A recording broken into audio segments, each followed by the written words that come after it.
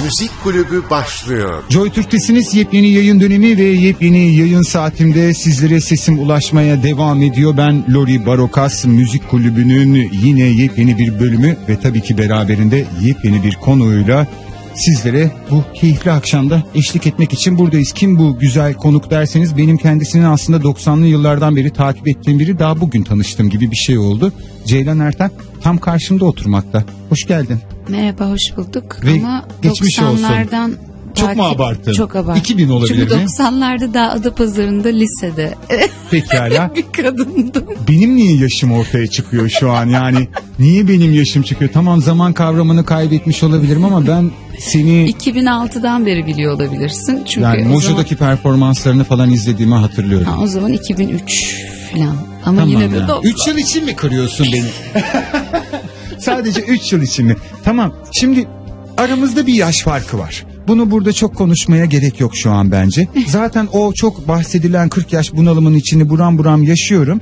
Ee, belirli bir yaştan sonra o onluk düzenler kayboluyor. Mesela Led Zeppelin'in aslında 2000'lerdeki bir grup olduğunu düşünebiliyorsun. Çünkü zaten 2000 dediğin şey de 15 yıl önceydi. Yani bu tip karmanlıklar, çormanlıklar olabiliyor ama e, seni gayet güzel takip ediyorum. Hatta o grupla daha fazla izledim seni izlediğimden oranla. Hmm, Geçmiş olsun bir operasyon ve beraberinde de konser ritmi de devam etti ve beraberinde bir de beni ziyaret ettin. Çok teşekkür Aynen. ediyoruz. Rica ederim ya. Ee, evet çok zorlu bir e, burun ameliyatı geçirdim ama doktorum galiba biraz dış görünüşle ilgili iyi olacaksın demek istemiş. Halbuki burnumun içi hala e, ağrılarla e, yanmakta. Ama tabii biz müzisyenler enayi olduğumuz için sahneye çıkınca çok iyiyiz sanıyoruz kendimizi. O iki buçuk saat boyunca Aa, iyileştim ya çok iyiyim filan illüzyonuyla ne verdiyse Allah onun hepsini ortaya döküyoruz ve e, konser bitiminde büyük daha büyük ağrılarla yatağa giriyoruz uyuyoruz yine aynı tempo devam ediyor. Ben de ameliyattan 10 gün sonra iki konser e, çaldık söyledik. Şimdi önümüzde bir maraton daha var. Ben de iyi olmaya çalışıyorum. Bir an önce toparlamanı diliyorum. Bir müzisyen için çok talihsiz durumlardır aslında bunlar. Ee, son albümle konuşacağım. Yeni bir albüm hazırlığını da konuşacağız ama onu da sonraya bırakmak istiyorum. Daha bir saat buradayız. Önce bu burada söyleyemeyeceğim bu kelimeyi sen söyleyebilirsin. Albümün adı. Amansız gücenik. Ondan sonraki Yuh. güzel. Niye böyle bir isim? Bana mıydı o laf bu arada? Hayır tamam. Ee, güzel bir isim. Niye böyle bir isim? Ee, çünkü sanki son özellikle 3-4 yıldır çok fazla vicdansız tavırlarla karşı karşıyayız hepimiz. Ee, ve vicdansız tavır bence yuhalanmayı hak ediyor. Her zaman alkışlamanın yanındayımdır. Yuhalarken bir beş kere düşünürüm. Ee, ama gerçekten çok zor günler geçiriyoruz. Ütopyalar güzeldir diyen o kadından e, bu birkaç yılda pek eser kalmamıştı açıkçası. Her gün korkunç haberlerle uyanmaktan çok yorulmuştum. Ee, ve albümün adını aşık olduğumuz bir aşığımız Aşık Mahsuni Şerif'in e, türküsünün adıyla e, şahlandırmak istedim. E, ve çok da mutluyum. Hatta işte senle Zeytinli'den bahsediyorduk yayın öncesi. Zeytinli Rock Festivali'nde de en çok çalınan türkü olmuş. Öyle miymiş? İstatistik Şahaneymiş ya. Evet, Şahane. Yani demek ki sadece ben böyle hissetmiyorum. Ee, Birçok müzisyen arkadaşım böyle hissediyor ve e, gerçekten de çok coşkuyla e, katıldı herkes yuhalarken bize. güzel bir şey çıkıyor burada. Programda konuşmayı planlamadığım bir şeydi aslında ama bu çok güzel bir şeyi bence bizlere uyandırdığını düşünüyorum. İşte o müzisyen denilen kişi, yazar, çizer, üreten duyguları olan kişi işte böyle sahnelere çıkıp falan eğlenmiyor. Aslında dünyada olan bütün mikro veya makro tüm olaylardan etkileniyor. Etkilenmesiyle beraber sanatını, eserini, yazdıklarını, çizdiklerini de etkiliyor. Tam bir belge bize şu an sundun. Çünkü bunu niye söylüyorum? Ee, Harun'u da konuk ettik müzik kulübünde sağ olsun ziyaret ettiler ve çok güzel bir şey söyledi. Biz konserleri biraz eğlence olarak algılıyoruz ama onun aslında bir ilaç olduğunu, sağlığa iyi geldiğini, sosyolojiye, psikolojiye her türlü faydası olduğunu e, söyledi. hani biz Şifa, evet. şifa olduğunu söyledi. Aynen bu kelimeyi kullandı o da şahanesiniz. Hani o duygular aslında orada konuşuluyor ve müzisyen hani öyle aslında bir şeyleri yazan sonra da sahneye çıkan ha ha ha alkışladık dans ettik eğlendik işte belki de kendimize sevdiğimiz birilerini bulduk gibi değil aslında değil mi? Asla değil. Ee, ben e, Ferhan abinin, Ferhan Şensoy'un eskiden oyunların kasetleri çıkardı. Bilir misiniz bilmiyorum. Deve Kuşu Kabarı'nın Ferhan abinin. Ben onları dinleyerek büyüdüm aslında babamın Beyoğlu, arabasında. Beyoğlular falan da vardı. Tabii tabii. Yasaklar aşk Yasaklar. olsun. Ee, ve Ferhan abi Ferhangi Şeyler oyununda çok güzel bir şey anlatır. Onu da o, kadar çok dinlediğim için ezbere bilirim. Der ki bir hiç olur mu yani bir aşık çarşambada Yeşilırmağın kenarına oturup ulan alsa alsa bu çarşambayı ne alır? İcabında sel alabilir ha. Cuk oturttum helal olsun ulan bana yöntemiyle türkü yapmıyor ki gerçekten çarşambayı sel alıyor insanlar ölüyor da bunun acı ağıtı var da radyolarda çalıyor der. Ee, siz diskoda dingildeyin diye domdom kurşunun türküsü yok der. Yani hani gerçekten bir solcudur diye vuruldu diye domdom kurşunun türküsü vardı. Aşık Mahsun Şerif'in yazdığı yine bir türkü vardı radyolarda çalar der. Yani aslında e, biz ne yaşıyorsak bu şarkıya Türkiye dökülüyor ve belki işte her tarafı dolaşıyor. Bütün gençlerin o minicik odalarına giriyor. Ben işte o yüzden bu festivallerde ya da bütün konserlerde hep bir gözlerim dolar. Kendi gençliğim de aklıma gelir. Yani ben kimden neleri öğrenmiştim. Neden daha duyarlı bir insan olmaya başlamıştım. Neden daha empatik bir insan olmaya başlamıştım. Aslında belki de Bülent Ortaçgil sayesinde. Belki de Fikret Kızılok, belki Bulutsuzluk Özlemi, belki Sezen Aksu filan. Yani e, bu isimler bize birçok şeyi öğrettiler. Ben böyle bir misyona sahip değilim birilerine bir şey öğreteyim diye. Ama unutmamak. E, çok balık hafızalı olduğumuz için her seferinde unutma demek istiyorum herkese. Ve bunu da şarkı söylerken yapmak e, çok güzel. Ve dediğin gibi müzik sadece eğlence değil, şifa, isyan, başkaldırı, e, Bazen de destek aslında. Tabii bir de birbiriyle aynı şekilde düşünmeyen, aynı şekilde yaşamayan, aynı parayı kazanmayan, aynı kadını sevmeyen filan yüzlerce binlerce insanın tek bir şarkıyı aynı anda yumruklarını havaya kaldırarak e, keyifle, mutlulukla ya da hüzünle dinliyor olması kadar mucizevi anlar olamaz. Bu nedenle de e, ne müzik dinleyicisinden ne müzisyenden bu güzelliği e, yaşamamalarını istememeliyiz. Yani her zaman dediğimiz gibi müzik susmasın. Benim şimdi müzik kulübünün geleneklerinden bir tanesi de bir bölümde konuğun bütün e, müzik keyfini, diskografisini ve sevdiklerini, nelerden etkilendiğini sormak. Sen onun sinyallerini bana verdin. Ben bölüm demişken ilk bölüm içinde güzel bir başlangıç yaptığımızı düşünüyorum. Bir müzik radyosu olduğumuzu unutmayalım. Minicik bir aradan sonra devam edelim tamam mı? Kısa bir ara. Müzik kulübü devam edecek. Joy Türk'te müzik kulübü devam ediyor. Tabii ki Ceylan Ertem yanımda kaçmadı. Sağlık sıkıntılarına rağmen sonuna kadar performansını devam ettiriyor ama saatlerce bu halde sahnede nefis performansı sergileyen biri azıcık da bana eşlik eder diye düşünüyorum. Albüme geri döneceğim. Yavaş yavaş da daha da geriye de gideceğim. Ee, bir tane video klip çektiğini gördüm. Biraz önce de izledim. Kliplerle ilgili konuşmayı da seviyorum. Hem müzisyenlerin sıkıntılarını burada gönül rahatlığıyla anlatmaları için hem de ben bir izleyici olarak kendi sıkıntılarımı da gönül rahatlığıyla anlatmak için. Bu klipler niye böyle Ceylan? Soruyu sen anladın. Bir erkek yüzünden videosunu. Evet. Zaten genel olarak bütün klipler niye böyle? Ya ben aslında video klip yayınlama çekme yanlısı biri değilim. O izlediğin videoda aslında bir lirik video denilen bir şey çıktı ya öyle bir şey olacaktı ama e, videoyu yapan arkadaşımız Miray Kuzucu o kadar yani harika görüntüler çekti ki bunların yanına böyle bir takım kelimeler gelsin de lirik olmasın böyle yayınlayalım dedik. E, ben aslında dünyada da hani kendi e, dinlediğim müzisyenleri, e, grupların daha çok canlı performanslarını izliyorum artık ve e, video kliplerdense canlı performans videoları e, çok daha özenli olmaya başladı. Çok daha yaratıcı olmaya başladı. Ve aslında her neredeyse ay birkaç tane konserden ya da evde e, akustik vesaire ya da bir takım düetler yapmak istiyorsam arkadaşlarımla bunları yayınlıyorum kendi kanalımdan ya da Vevo kanalımdan. bir yasal bir olmayan kanalımdan.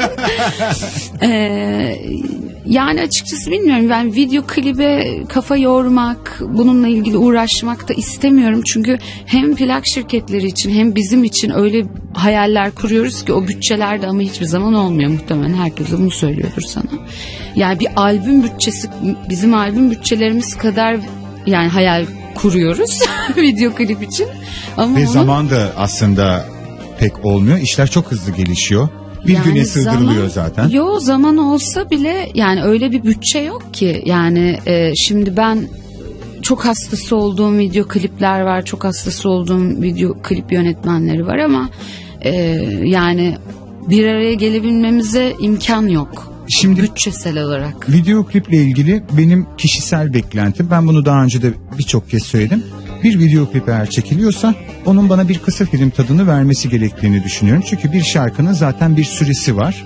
Bu sürede artık öyle eskisi gibi progresif müzikler olmadığına göre işte 3 ila 6 arasında maksimum değişiyor. Daha bile kısa olabiliyor. Yani bir kısa film öyle kimse 20 dakikalık falan şarkı kaydetmiyor artık. Ve o kısa filmde de hele ki böyle işte sen ve benim programıma konukların çok büyük bir kısmı hatta hepsi sözlerinde, müziğinde ve stillerinde içerikleri ve tarzı olan insanlardan o beklentiyi doğal olarak istiyorum yani duyuyorum o beklentiyi ama kötü bir şey söylemek için bunu söylemiyorum. O kişiyi yakıştırdığım noktadan dolayı bunu Tabii, tabii. söylüyorum. Ve doğal olarak bu senin klibini izlediğimde de işte en sevdiğim diğer müzisyen dostların klibini izlediğimde de ben onun müziğini dinleyeyim ya da konsere gideyim diyorum. Demin de hatta bir görsellik konusu olmuştu. Konsere gitsinler ve görsünler diyorum yani. Biraz böyle bir düşüncenin içerisindeyim. Bu klip konusunda o yüzden sürekli konuşuyorum. Belki buradan birileri galiba çok mu aynı gidiyoruz bir şey mi yapmalıyız der. Çok düşük bütçelerle de güzel şeyler üretilebilir diye düşünüyorum. Yok ya yani biz e, kamera kirası e, videoyu çeken arkadaşımız kameramanlar falan derken hani onun dışında şöyle bir falan edelim şöyle bir filan edelim bir kast olsun çok çok zor yani benim bile isteye klibimizde de e, Sumru abla gelip oynadı mesela çok büyük bir kast yani hani o. Majör bir şey. Aynen yani ama hep an. gönül işi yani tabii ki bir bütçemiz oluyor ama çok gerçekten hayallerimizi gerçekleştirebileceğimiz. Ya benim en çok gurur duyduğum kliplerimden, video kliplerimden iki tane vardır. Bir tanesi e, insandık klibim, ilk video klibim bir e, stop motion tekniğiyle çekilmişti. Onu çok severim. Bir de çok yakın ki İF e, Film Festivali'nde de sinemada gösterildi o video klip. Onu, onu da çok ayrı tutarım. Ama onun dışında hep böyle gönül işi işte e, çok sevdiğimiz arkadaşlarımızla beraber oyun oynuyor gibi filan yaptığımız şeyler yani e, Yoksa gönül ister Umur Turagaylar ya da Roman Garvaslarla falan çalışmak da dediğim gibi benim zaten albüm bütçem onların bir klip bütçesi kadar. Zaten senin de biraz aslında bu kadar şarkın var. Normalde şöyle bir albümlere baktığımda klip sayıları da işte 3, 4, 5 bazen 6 neredeyse hepsi bile olabiliyor. Biraz daha popüler kültürde daha da rakamlar yukarıda olabiliyor. Sadece bir tane çekerek de aslında duruşunu belli etmişsin. Düşünüyor musun başka bir e, görüntülü bir şey bu albümde? Ben bu bu videoyu bile e, yani gerçekten plak şirketimiz Sony Müziğin e, baskılarıyla e, yaptık. Yani gerçekten video klip çekmek aslında istemiyorum. Çünkü gerçekten canlı performansa. Örneğin şimdi kaydedeceğimiz albümün bütün albüm kayıt sürecini videoya kaydetmek istiyorum. Çünkü canlı çalacağız. Yani 24 ila 30 kişi arası girip yaylılar, nefesliler, ritim section vesaire hep beraber canlı çalacağız ve bunu aslında hani bir konser kaydıymış gibi yayınlansın istiyorum. Ee, onun dışında birçok beni takip edenler çok iyi biliyorlar. Zaten beni takip bu kadar çok insan ediyor olmasının sebebi de canlı performanslarımı YouTube'da vesaire izliyor olmaları. İyi bir Yoksa- se- sosyal medya kullanıcısı oldun net ortada onu biraz bakınca Bu gördük. arada yani sosyal medyadaki her şeye ilk önce karşı çıkan insanım yani aşırı eski kafalıyım.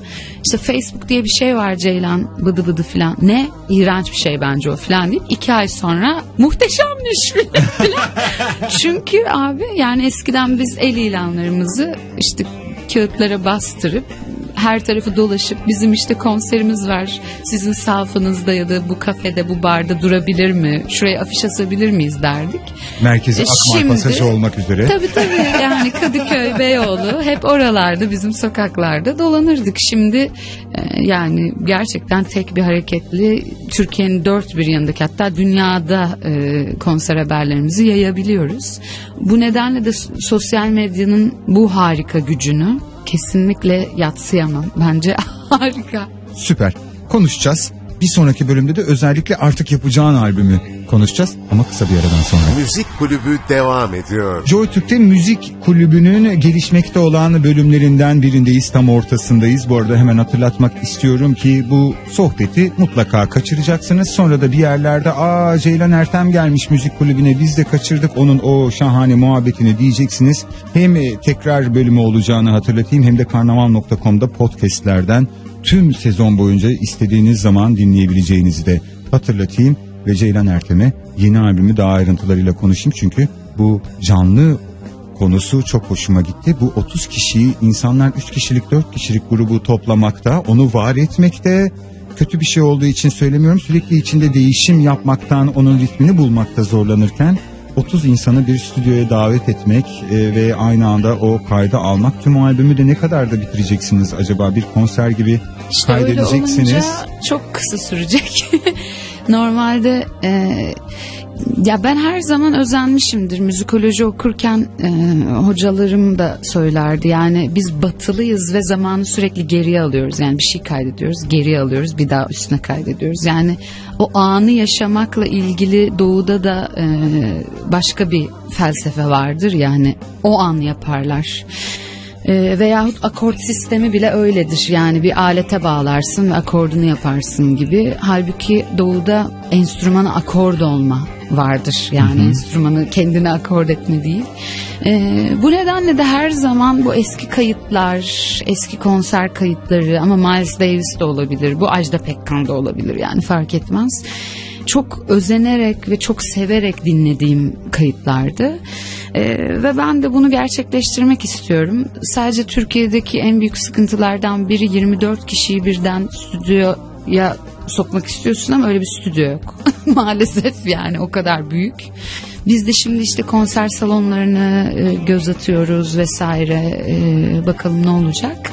E, Yurt dışında bir stüdyoya gittiğinde herkese bir oda bile biliyorsun verebiliyorsun. Tabii yani yurt dışında da kaydettik e, bir e, albüm oralı müzisyenlerle Bar- Barana ile yaptığımız albüm Düzene Polis burada da yayınlandı. E, çok rahattı tabii yani hani ama Bakalım umutluyuz yani öyle güzel bir yer bulduktan sonra aslında şarkıların artık demoları hazır. Ee, ben öyle bir dolmuşum ki galiba yine bu geçtiğimiz sene son iki ayda falan yazdım neredeyse bütün şarkıları. Ve şey çok memnunum, çok mutluyum. Ee, sadece çok eğlenceli şarkılar yok her zamanki gibi. Öyle bir e, durum var. Yine sanırım etrafın etraftan aldıklarımız birikmiş ve onlar çıkıyor. Biraz böyle insan olmak üzerine kurulu şarkı sözleri var. İnsanın ne kadar zalim ya da alim olduğuyla ilgili e, şarkı sözleri var. Genel olarak konsepti böyle. Peki bir şey söyleyeceğim. Bütün kayıtlardan sonra şöyle bir başa dönüp burayı böyle mi yapsaydık acaba bir şu noktaya bir küçük e, patch dediğimiz yamayı yapsak mı falan gibi bir durum mu yoksa Onlar artık olamayacak. karşımıza ne geldiyse Evet çünkü aynı odada çalıyor olacağız yani oda oda ayırmış olsak enstrümanistleri o zaman hani mikrofonlardan sesler birbirine kaçmaz belki o üstüne sonradan eklenecek yamalar yapılabilir ama Yesin Hu'nun falan böyle çok kayıtları var. E, buradan aslında biraz böyle sanıyorum senin de öyle bir e, zevkin olduğunu biliyorum. Bir plak kaydına doğru bir yolculuk olacak galiba. Evet. Belki de bunu plak formatında mı duyuracaksınız? Yani çok mutluyum ki Sony e, Müzik hem Yuh hem Amansız Gücenik iki albümü de plağa bastı ve e, umuyorum ki bu yeni albümü de plağa basar. Asıl istediğim yani daha büyük hayalim ise Daha uygun bir konsept çünkü.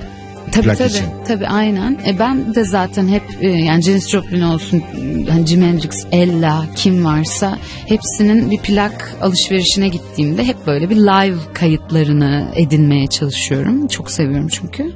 E, ben de öyle bir albüm aslında yapmak istiyorum. Yani bütün bu soluktan itibaren soluk ütopyalar amansız yuh ve e, son albümün de sevdiğimiz şarkıların olduğu bir live e, plak.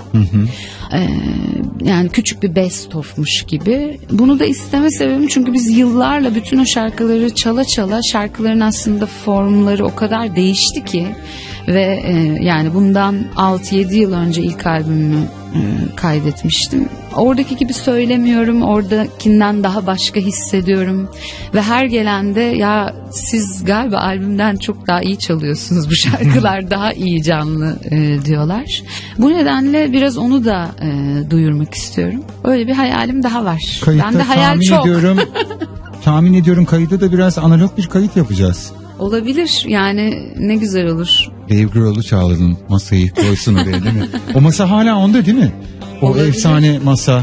Olabilir. Müthiş bir belgeseldi. O efsane masa hala onda sanıyorum. Sıkılıyor sıkılıyor. Hayat ne güzel değil mi bazılarına? Sıkılıyor sıkılıyor. Niye yani? Bir gelsene ya. Analog masa bende falan. Ondan sonra işte tekrar sıkılıyor. işte Pol amca bir uğrasana sen. Ne güzel hayat değil mi? Ama bizim kendi müzisyenlerimiz de şahane. Onu da yapmak gayet güzel olacak. Pekala.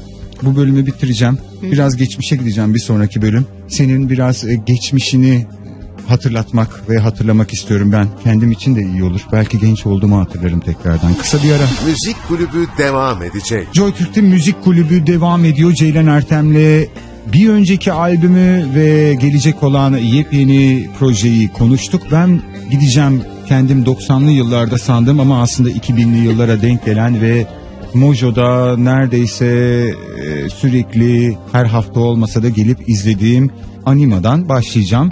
Bu tek albümü projeli gruplar var. Dünyada da var. Hala da müzikleri de dinlenmeye devam ediyor. Onlar efsane oluyorlar. Ee, Anima'yla da bir albüm oldu. Ben bu grubun çok daha böyle bize, arşivimize güzel şeyler getireceğini o dönem düşünenlerdenim açıkçası. Niye olmadığını da soracağım ve yayın öncesi bu soruyu sormak için senden izin almadım biliyorum özür dileyeceğim. Ama bunu sormak istiyorum. Ee, Anima aslında 8. yılında dağılmış oldu. Ama tabii e, albümün yayınlanması grup kurulduktan 6 yıl sonra olduğu için 2 yıl içinde dağılmış gibi tınlıyor. Ee, ama tabii biz beraber büyüdük ve Anima'nın davulcusu Ekin Cengizkan ve basçısı Murat Çopur'la hala benim ekibimdeler yani şu anda beraber çalıyoruz. Ee, Anima'nın kurucusu Tunçay Korkmaz'dı, mızıkacısı idi. Aynı zamanda şarkıları da yazan.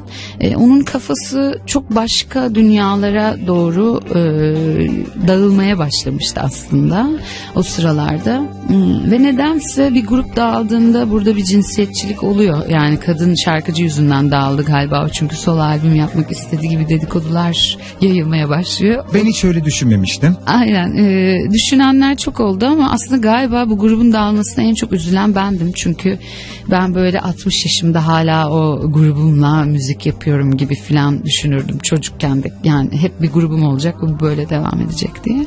Ama yani herkes bilir ki grup olmak e, işte 4-5 kişinin aynı anda bir sesi çıkartmaya çalışması ve aynı fikirde olmaya çalışması çok zor bir mevzu. Ve belirli bir harmonide çıkacak o ses.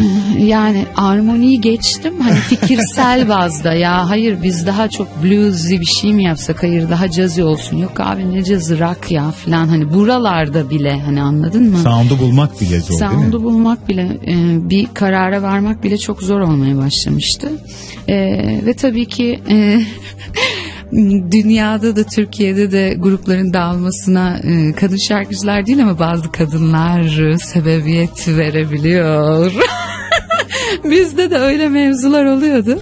Ee, ama neyse hani arkadaşlığımız sona ereceğine bu böyle gideceğine grup sona ersin diye karar verdik ve bence çok iyi bir noktada grup e, dağıldı. Tabii ben sonra küçük bir depresyonla bir 5-6 ay dolaştım aman Allah'ım ne yapacağım ben diye ama işte yani gerçekten hayat. Ama bu kadar uzun bir süre cover grubu olarak ayakta kalıp sonra bir anda tabii ki her müzisyenin en doğal reflekslerinden bir tanesi arkadaşlar hadi artık kendi şarkılarımız nereye kadar Yok biz cover deyip- grubu değildik. Ben sizi ama çok cover izliyordum Cover izliyordum çünkü Yani 50-50'ydi hatta neredeyse. Evet e, çünkü Mojo'da çalabilmemiz için sadece kendi şarkılarımızı çalabilmemiz mümkün değildi. Batu Bey Abimiz. abimiz e, Evet. dedi ki Namı diğer Karpuz grubunun efsanesi. Aynen. ya o bizi bir yer biz böyle kendi şarkılarımızı çalıyoruz. İşte 8-9 tane şarkımız var. Küçük küçük konserler çalıyoruz ama konserin içinde bir tane de Yavuz Çetin cover çalıyoruz. E, Batu abi de bizi gelip böyle dinleyip aman Allah'ım ne kadar güzel çalıyorsunuz çocuklar ama sadece kendi şarkılarınız olmaz. Hadi sevdiğiniz müzisyenleri de ekleyin. Gelin bizim ön grubumuz olun dedi Karpuz grubu. Sonra da bize bir gün verdi bir 5-6 ay sonra baktı iyi gidiyor. Çünkü işte Ariler Mariler, işte Duman, Şebnem, Şebnem Ferah, Sertab Erener, Okan Bayülgen vesaire böyle Necdet İşler gibi çok ı, şahane ve biraz da ünlü Kulübün müdavimleri e, gelip bizi çok sevince hatta albümümüz yokken işte televizyonlara falan çıkmaya başladıydık. E, o zaman e, tabii dinleyici kitlemiz de bir anda böyle bir arttı bir şeyler oldu. Hmm, Ama biz öyle bir repertuar çalıyorduk ki Batu abi bizle dalga geçiyordu. Bu ne saçma sapan bir cover repertuar. Çünkü o zamanlar işte kimse Björk çalmazdı. Biz böyle Björk çalmaya çalışırdık. Portishead, Radiohead falan gibi. E, yine tabii çok uzun süre o yüzden bir 10 kişiye falan çalmıştık. Yani sağ olsun o az önce saydığım şahane isimler bizi dinlemeye geldiler de diğerleri de ulan burada iyi bir şey oluyor galiba biz de duralım bunlar bu işten anlarlar çünkü deyip onların e, bizi dinliyor olmasına güvenerek bizi dinlemeye başladılar filan. Sonra da Şemsettin Bey yani şu anda da birlikte çalıştığım Müziğin e, genel müdürü geldi dedi tamam ben size albüm yapacağım çok güzel şarkılarınız var. Yani aslında cover çalmak bu yeniden yorum dediğimiz şeye hiçbir zaman karşı olmadım çok eskiden beri. Çünkü yorumculuğun da çok önemli olduğunu düşünüyorum. Ve o zamanların bana çok katkısı olduğunu düşünüyorum. Yani hani bir dakika ya bu kadın nasıl böyle şarkı söylüyor ben de öyle onu deneyeyim şimdi. Dedikçe dedikçe aslında kendinizde de bambaşka kişilikler veya teknik olarak da bambaşka e, noktalar keşfediyor oluyorsunuz. Böyle böyle sonra biz aslında yani gerçekten e, ilk başladığımız andan itibaren kendi şarkılarımızı çalıyorduk ama işte onların sayısı 8'di 9'du. Şimdi küçük bir informasyon paylaşayım. Sen o konuya bir türlü girmiyorsun ama bir kulüpte tabii bir müzisyen sahneye çıkmak durumunda kaldığında en az 3.45 yapması gerekiyor. 3.45 yapması gerektiğinde bu benim bütün gördüğüm bu 3.45? entertainment yani 3 tane 45 dakika çalması gerekiyor 50 dakika bir çalıyor 10 dakika dinleniyor kısa bir ara diyor tekrar geliyor bir 20 dakika Bar sonra. gruplarından bahsediyorum. Yani evet bir kulüpte çalma. Şimdi doğal olarak beste grubu bestelerini çalmaya gittiğinde ve biraz da her şeyin başlangıç aşaması olduğu için grubun birdenbire hani e, iki buçuk saat sahnede çalanmayız. Sekiz bestemizi dörder kere dönsek bile bu rakam Mümkün değil. tutmayacağına birdenbire orada bu birçok müzisyenin başına geliyor. Birçok buraya gelen arkadaşımla da konuştum. Böyle bir repertuar. Ben hani cover grubu derken sizi cover dinledikten sonra artık ondan ayıklanmış halinizden e, bahsediyorum. Artık tamam bundan ayıklanıyoruz ve kendi kimliğimizi tamamen gösteriyoruz. İşte o kendi kimliğimizi gösterme itibariyle grup Evet. oluyor aslında. Çünkü ondan önce aslında başkalarının müziğini çalan bir grubu dinlemeye gidiyoruz. O yüzden sanıyorum animanın da dağılması hani ya işte daha yeni kurulmuşlardı zaten e, bitti gibi oluyor. Çünkü kimlik sadece o bir buçuk seneye sığmış oluyor. Çok zor bir şey. Bence kesinlikle ve kesinlikle cover denen şeyin anayasada e, işte albümde bir tane olmak kaydıyla bir ayar yapılarak evet ama yani artık sadece ve sadece barlarda canlı müzik çalınmalı felsefesi olsa bu bizim müzik endüstrimize daha hayırlı olur diye düşünüyorum. Yapan kulüpler var. Yani tabii ki arada cover çalıyor ama yani en az yüzde 75 kendi bestesini çalacak diyen yer biliyorum. Gidiyorum izlemeye de. Gencecikte çocukların şahane besteleri varmış yani.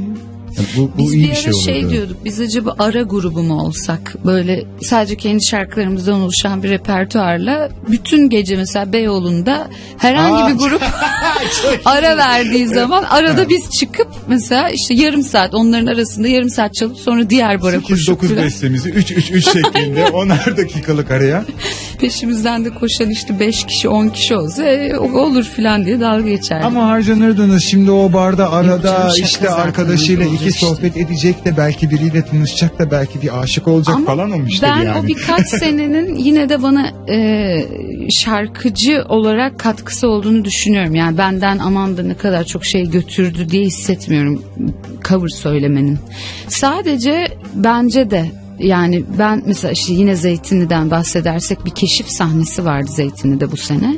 E, ne yazık ki yani öyle bir seçme yapmışlar ki o seçme yapan ekibi de kim yani Güven abi falan var galiba Güven Erkin falan onunla konuşmak istiyorum ya seçmeyin abi böyle grupları yani hani o gruplara da yazdım yani böyle bir Facebook'ta bir muhabbet döndü Peg grubunun solisti paylaşmıştı.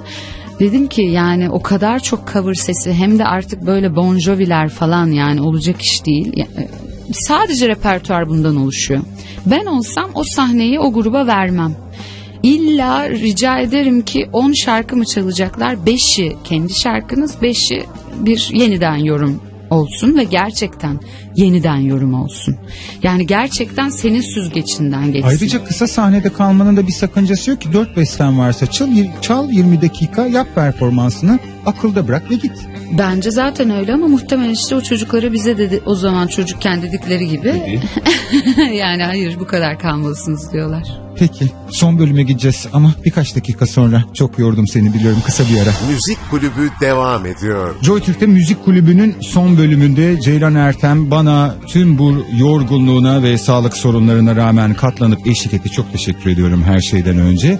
Genelde böyle müzik kulübünde gelen konuklarımızın dediğim gibi bütün müzik dünyasına dinlediklerine ve etkilendiklerine yer verirdik ama sen benimle konuşurken bütün bunlardan o kadar güzel esintiler verdin ki benim sormama gerek kalmadı. Hem bizim topraklarımızdan muhteşem isimleri paylaştın. Hem de Anima ile beraber Mojo'da sahne aldığın dönemlerde çaldığın gruplar ki onların da hepsi harika ve hala şahane albüm duyurmaya devam ediyorlar ama son veya yeni isimlerden bir şey böyle tavsiye edebileceğin öyle bir albüm dinledim ki herkese tavsiye ederim. Dün çıktı falan gibi var mı böyle bir şey? Yani Yine onları- müzik konuşalım müzik kulübünde yani. Kısa da olsa boş geçmeyelim. Hmm, Yani çok bilinen ya da dinlenen isimleri saymayayım aslında ama e, çok yakın arkadaşlarımı tavsiye edebilirim. Mesela Can Güngör'ün albümünü dinlemelerini tavsiye edebilirim. Çok E, güzel. Cihan Mürtezaoğlu'nun albümü ön satışta şu anda ama iki tane şarkısı da yayınlandı. Alıp e, edinebilirler. Bence ya önümüzdeki zamanlarda çok bahsedeceğiniz isimler olacak bu saydıklarım. Dilara Sakpınar 123 grubundan o da yeni albümünü yayınlamak üzere. E, yani Türkiye'deki alternatif müziğe dair birkaç isim sayabilirim işte bunlar. E, ama benim ömür boyu her daim dinlediğim Neşet Ertaş vardır, Müzeyyen Sener vardır. E, ve onlarda bir müzisyeni dinlerken de müzik genç müzik dinleyicilerine tavsiyem sadece müziği değil ettiği sözleri, biyografileri mutlaka Miles'ın biyografisini okumalılar. Kitabını hemen okusunlar Evet. zaten ezberlesinler hatta. İnanılmazdır. Ee, aynı zamanda Müzeyyen ablanın hayatını okusunlar ve e, çok büyük dersler var oralarda. Tavsiye edebileceğim şeyler bunlar. Tamam ben de Erkin Koray'ın Mezarlık Güllerini ikinci kez okudum e, birkaç yıl aradan sonra. Bari arada ben de kendi okuduklarımdan bir tane senin sayende buradan duyurayım. Bence de müzisyenin hayatlarını okusunlar. Şimdi paylaşırdık aslında programlarda. Her programda yapıyorlar ve çok da doğru bir şey. Tabii ki müzisyen konserlerini paylaşmalı bağıra bağıra. Ama bizim ülkenin durumundan dolayı bu artık risk oluşturmakta. Benim programlarım da bazen risk oluşturmakta. O yüzden ben sadece şahane sosyal medyayı kullandığını az önce konuştuk. Bütün bu hesapları seni nereden takip edebileceğimizi hatta bir iptali veya erteleme söz konusu olursa bile tüm bu bilgileri almak istiyorum seni göndermeden önce. Ee, Twitter Ceylan Music, ee, o, Facebook Ceylan Ertem Official, ee, Instagram Ceylan Ertem. Bunların hepsinin yanında artık mavi tıklar oluyor. Onlar bizim kendi yönettiğimiz sayfalar anlamına geliyormuş. Ben de her şeyi bunları yeni yeni öğreniyorum.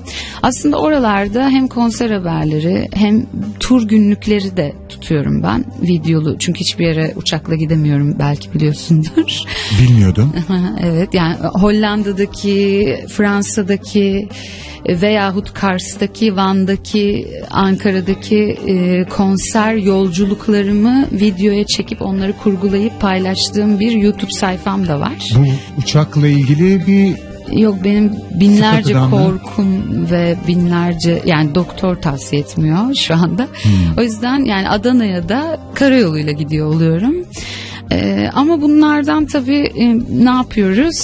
Hayatımız böyle ama üzülmüyoruz ve güzellikleriyle görmeye çalışıyoruz diyerek e, böyle tatlı tatlı anlar paylaşıyorum. Anadolu'nun en güzel köylerini anlatırsın sen bize. Tabii tabii. Ve Yani o insanları. Sen de bak tavsiye ederim o videoları güzel. Bakacağım tabii ki. Bakacağım. Çok teşekkür ediyorum Ben Ceylan. teşekkür ederim. Renk kattın. Müzik kulübünde ilk kez seni ağırladık. Her programın sonunda aynı cümleyi bıkmadan söylüyorum. Müzik kulübü benim programım değil. Bu ülkede müzik yapan, gerçekten müzik yapan bütün müzisyenlerin programıdır. Ve onlar gelip kafalarında e, ne fikirler varsa, ne paylaşmak istiyorsa gelsinler. Albüm tarihi ne zaman deriz? Belli değil ama herhalde yani 2017'nin ilk ayları. Biz o albüm çıktıktan sonra da seni alalım. Gelir misin? Gelirim hem de artık böyle bir canlı performans belki Tamam bu sözü de almış olalım. o zaman bu sağlık problemlerinden tamamen de arınmış oluruz Tabii. diye düşünüyorum. Şahanesin. Çok çok teşekkür ediyorum. Ağzına teşekkür sağlık. ederim. Herkese iyi akşamlar. Güzel bir hafta sonu olsun. Haftaya cumartesi yine nefis bir konukla karşınızda olacağım. Tabii ki kim olduğunu program yapımcımız Özlem biliyor olacak. İyi akşamlar, iyi geceler.